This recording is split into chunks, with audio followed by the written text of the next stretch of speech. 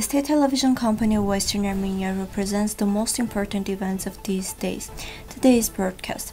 Friend of Armenians of Western Armenia, Claude Goasguen, deputy from Paris, passed away. Skulls and bones were found in the cave of Mardin, Western Armenia. Prime Minister of Armenia Nikol Pashinyan and his family infected with coronavirus. A meteorite falls in the territory of Western Armenia. The Museum of Armenian Ethnography of Sardar Abad Memorial is active on the online platform. Figure of the right in Paris, Claude Goasguen, passed away at the age of 75 of cardiac arrest while he was recovering from coronavirus. In the intensive care unit during 22 days because of the coronavirus, the former mayor of the 16th arrondissement of Paris was feeling better, but as a result of heart complications, he died Thursday morning at the hospital. Elected for the first time as deputy for Paris in 1993, he stayed in the 16th arrondissement of the capital for more than 20 years. He was mayor from 2008 to 2014.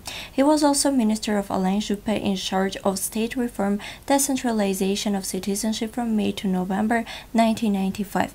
In 2013, during the war in Syria, he was the initiator of a large gathering of Christians from the east to assert their rights to be different and to recall the crimes of the dark forces of Daesh against Christians in the East. In this context, he invited President Armen Agabaryan recently returned from Syria to give his testimony. A large number of human skulls and bones were found in a cave of Dargechit Mardin province in one of the southeastern regions of western Armenia. The statement said that a citizen named Irfan Yakut went to a cave to search for antique and found fragments of skulls and bones, which is supposed to belong to human. Investigation has been launched at the Dargechit prosecutor's office. Discoveries were made at the site as part of the investigation. As a result of search, traces and buildings belonging to ancient times appeared in the cave. He also found 40 skulls and bones most likely belonging to humans. The details of the case have been submitted to Regional Department of Culture and Tourism and the prosecutor's office continues to investigate this case. Armenian Prime Minister Nikol Pashinyan and his family members have been infected with the new coronavirus. The Prime Minister said today live on Facebook, I will continue to work from the Prime Minister's residence. I have all the means of communication, all the necessary conditions. I will work from here as much as needed, but of course under conditions of isolation, the Prime Minister said. Pashinyan has suspicions that he got infected from a waiter who didn't wear a glove, and that waiter has also tested positive for coronavirus. But the Prime Minister is confident that no one or at least few people in the government have been infected from him. Our strategy remains the same. We should get used to living with coronavirus.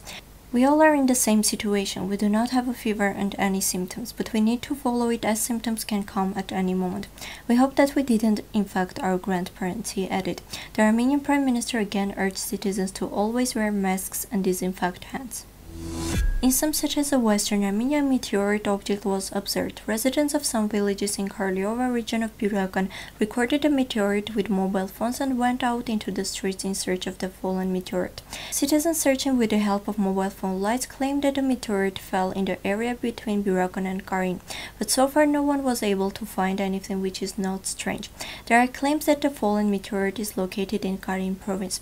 It is noteworthy that a citizen collected mushrooms in Karin Ispir province noticed stones resembling meteorites in the hole in the Earth's surface. According to him, the two pieces of stone weighing about 3 kilograms found in the hole may be meteorites.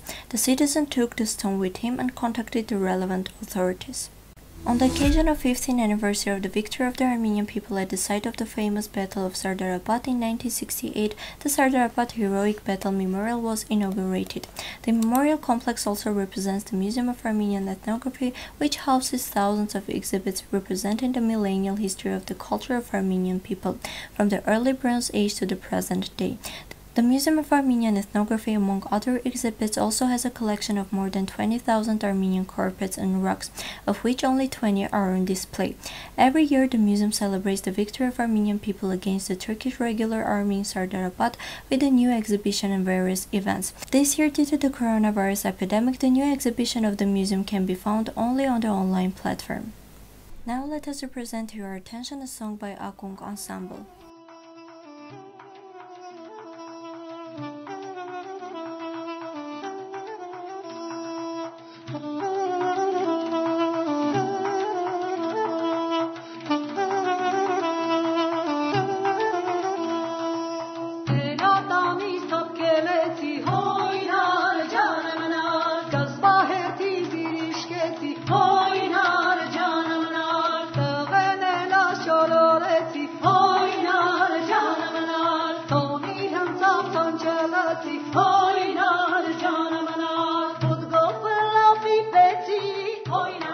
Can find the whole version of the song in the official page of Western Armenia TV. This was all for today. Goodbye.